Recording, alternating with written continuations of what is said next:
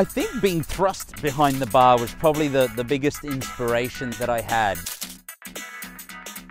But what inspires me creatively is, is really flavors, and especially flavors that I've, I've never tried before. I get bursts of creativity. We don't know how long that burst is, is going to last. It usually lasts until I'm satiated and I have uh, resolved it. So I've come up with a few good combinations. Then, then the burst is over and I move on to something else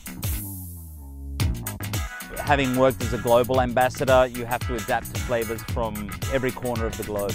The fact that you'll find fruits and uh, herbs will always inspire me to, to match those flavors up creatively. This is what Monin delivers for you. That huge range of flavors that they get from all over the world really allows you to add that color into your drinks. Friends are greatly important in this industry. You've got to keep them close and you've got to nurture those relationships as well because it's a revolving door.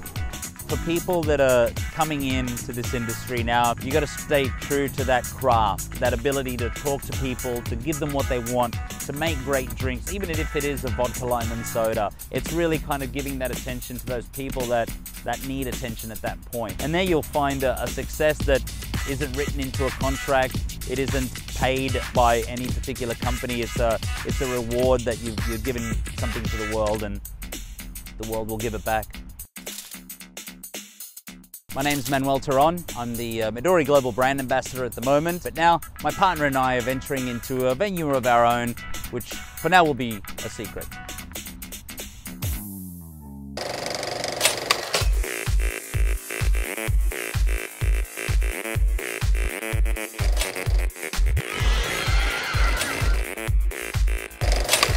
Here I am in my hood, Newtown.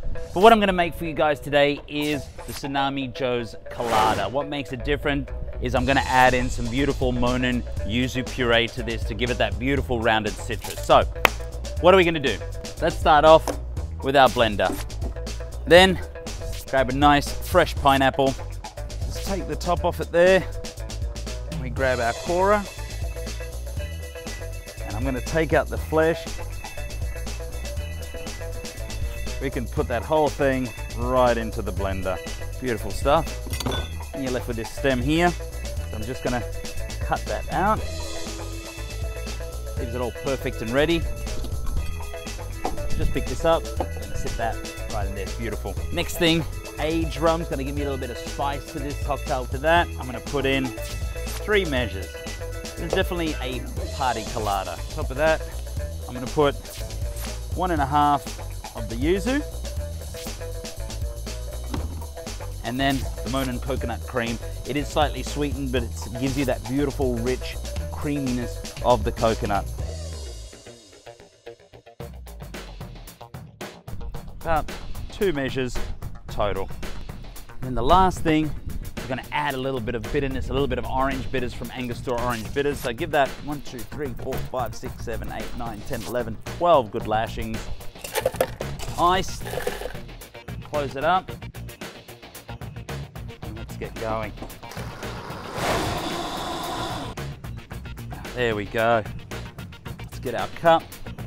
Slide it in there. Oh, it's beautiful. It's thick. It's creamy. Now, my garnish. A couple of straws. There you go. Tsunami Joe's Colada. Cheers.